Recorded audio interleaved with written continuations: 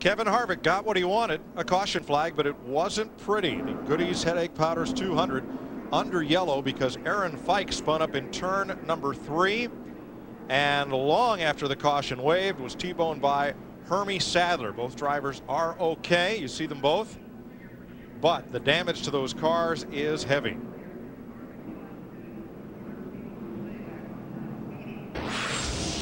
Fike will lead the 43 down on the inside.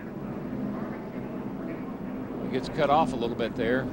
Johnny Sauter. Tries to stay off of Sauter, and in, in the process of doing that, he spins the car around. Whoa, that was a great move there.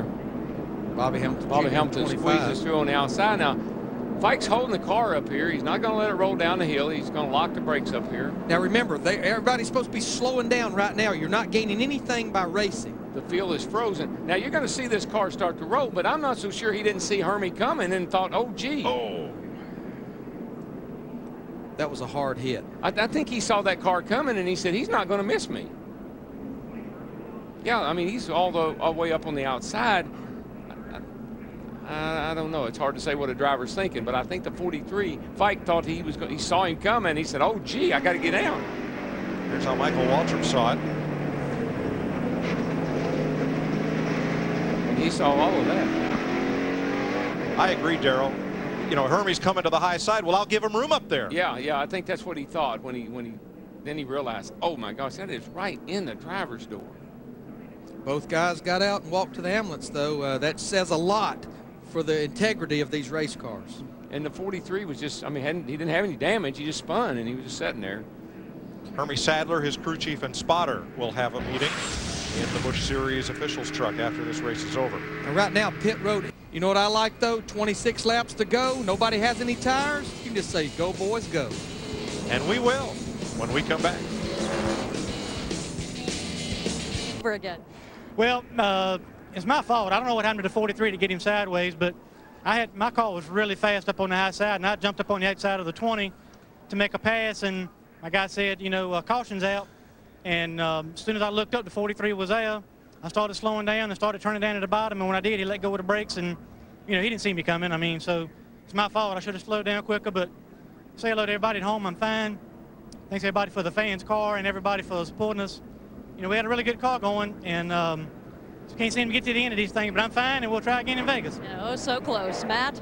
Kevin Bonamania's car will restart from here off of the, either that turn two or down here in three and four. And he's going to open the door. Two of the young guns, here Jamie McMurray. He's driving that baby in there for all she's worth. he oh, in there. He, he did what he had to do.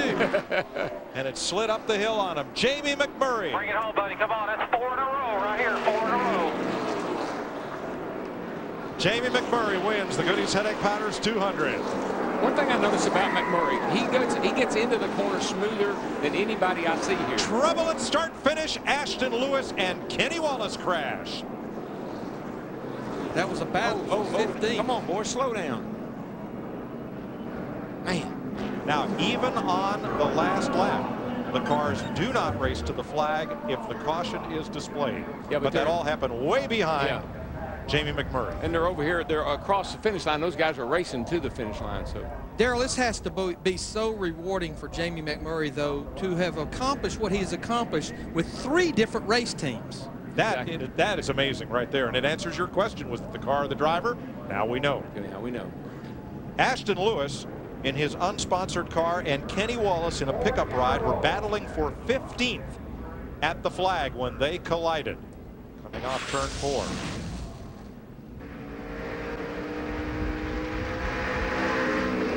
Whoops.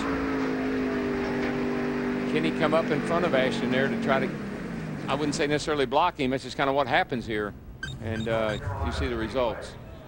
Shame to tear up two good race cars in the last 100 feet of the race. For 15th place. And especially since that Stanton Barrett's car, the 91 car that he basically put Kenny Wallace in where he could start this race.